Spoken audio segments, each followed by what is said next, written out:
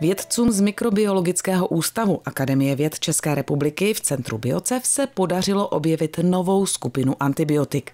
Tým Jiřího Janaty více než 10 let studoval, jakým způsobem vznikají v mikroorganismech přírodní linkosamidy.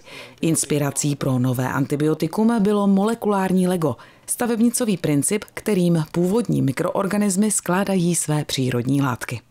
Příroda to tak dělá, že se vytvářejí čím dál tím lepší struktury, to znamená, které lépe padnou tam, kam padnout mají.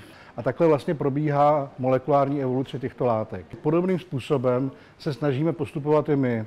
My jsme vlastně skombinovali dvě existující dlouho známé látky. Je to antibiotikum linkomycin, používané například proti eh, zlatému stafylokokovi. Tuto látku jsme skombinovali s málo aktivním celesticetinem, což do té doby nikoho nenapadlo, protože se to vlastně nezdálo mít žádný rozumný smysl. Nová stavebnice je účinnější, protože lépe zapadá do místa v buňce, kde působí. Proč ale vůbec potřebujeme nové antibiotikum? Dneska se čím dál tím častěji stává, že se zejména v nemocničním prostředí, které je náchylné k, takovým, eh, k takové selekci eh, zvláště odolných rezistentních bakterií, vyskytují mikroorganismy, proti kterým nezabírají už téměř žádné a v některých nejhorších případech vlastně vůbec žádné Eh, používané eh, antimikrobiální látky, antibiotika. Antibiotická rezistence je vlastně způsob, jakým se bakterie brání účinku antibiotik. Co se týče mechanismů, tak ty jsou opravdu různorodé a odráží to, jakým způsobem ty antibiotika účinkují. Antibiotická rezistence vzniká nejčastěji dvěma způsoby. Buď to bakterie získá gen, který dokáže antibiotikum eliminovat, anebo se její gen zmutuje, takže je vůči antibiotiku odolný.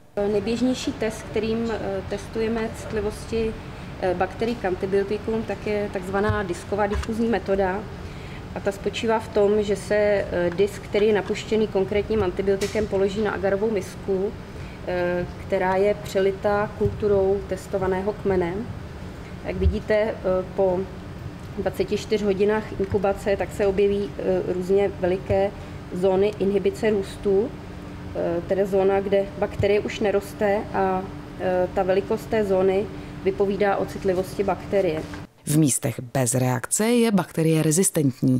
V místech, kde se zóna objevila, antibiotikum působí. Uvědomte si, že od té doby, než se, začne, než se začne těch látkách pracovat, než se takové látky najdou, jako je to, co jsme našli, tak to je spousta let, často je to třeba 10 i víc let, a to je teprve polovina té cesty. Potom ještě je potřeba prokázat, že ty látky e, fungují a fungují jak eh, proti těm mikroorganismům, tak zároveň, že nemají žádné vedlejší účinky a to třeba na tom našem konkrétním případě, pokud se ta látka celin nebo odcelin budou používat, tak to bude trvat ještě takový tři roky, než zjistíme, že to vůbec má cenu pokračovat.